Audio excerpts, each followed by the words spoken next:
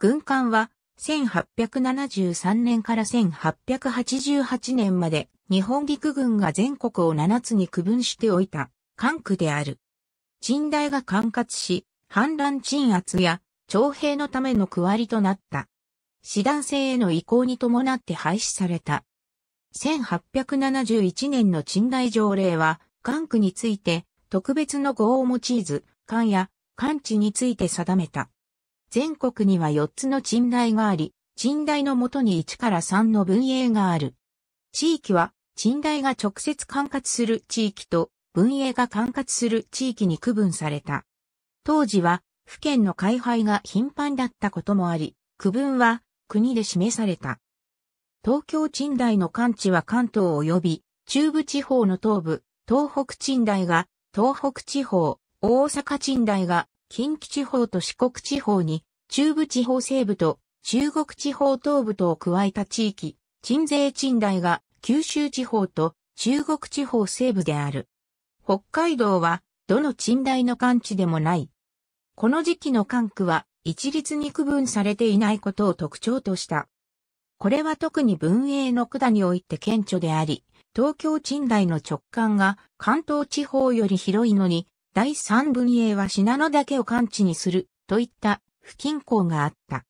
軍艦は1873年の鎮大条例改正で設けられた。この改正では全国に6鎮大を置き、鎮大の管轄地を軍艦とした。軍艦の名は、その管下の兵員でおおよそ一軍を作ることができることを表す。6つの軍艦は2ないし3の主艦に分割された。主艦にはその本営の他に2ないし4の分営があり、合わせて全国54の営所が配置された。おおよそ関東地方が第一軍艦、東北地方が第二軍艦、中部地方が第三軍艦、近畿地方が第四軍艦、中国、四国地方が第五軍艦、九州地方が第六軍艦、北海道地方が第七軍艦と分けられた。第七軍艦は区分しただけで、鎮大の管轄ではなく、士官もなかった。この区割りでは、士官の大きさをほぼ同じくらいに揃えたが、東京の第一軍艦と大阪の第四軍艦だけが三つの士官を持つ、といった不均衡は残っていた。軍艦は国内反乱に対応する地域分担であり、陳大はその軍艦で発生した反乱に対し、政府の指令を待つことなく、鎮圧に出動する権限を持った。外国軍に対しては、政府の命があるまで戦闘を極力避け、やむを得ず応戦する場合でも主勢に徹することが求められた。1885年6月の鎮大条例改正で6つの軍艦は一律に西艦を持つことになった。軍艦は反乱鎮圧、所在部隊の管理、対外防衛計画といった従来からの意義の他に、想定の帳簿の区分と位置づけられた。徴兵令発布後の制度に対応したものである。1777年の西南戦争まで、軍艦は、鎮大が偵察し警戒すべき地域で、いわば敵として向かい合う対象であったが、士族反乱が後を絶ってそうした必要は薄れた。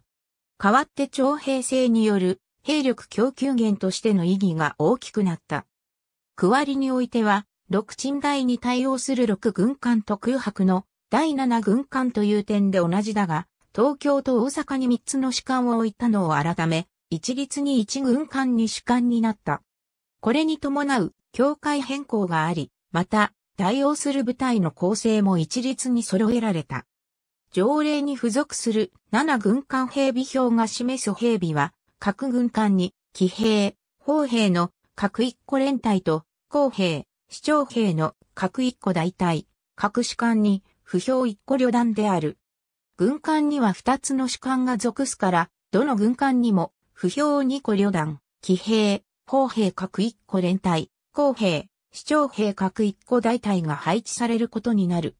対外戦争では、これら部隊が集まって、師団を編成し、師団は軍団長の指揮下に入ることが予定された。この場合、師団が出身地域の防衛を顧みることはできないので、留守を預かる、鎮大司令官が別に任命される。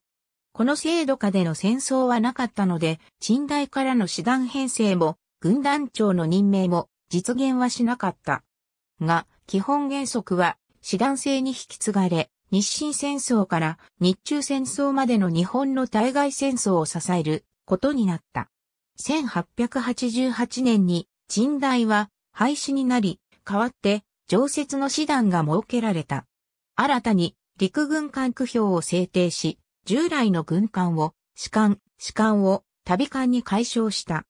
区割りもほぼ前のものを継承し、第1から第7の軍艦は、第1から第7の士官に変わった。法令は揃って一新し、名称も多く変更になったが、徴兵のための管区、師団の出生と留守といった原則は、3年前の改正を引き継ぐものであった。1871年から1873年までの近代の完治。都道府県協会は現在のもの。当時の府県の協会とは大きく異なる。1871年から1873年まで。1875年4月、北海道を除く6軍艦。府県会は当時のもの1873年賃大条例第3条。範囲は条例に示されない。1885年から1888年の軍艦1885年賃大条例に付属する7軍艦強し域表。協会について詳しくは各士官の記事を参照されたい。ありがとうございます。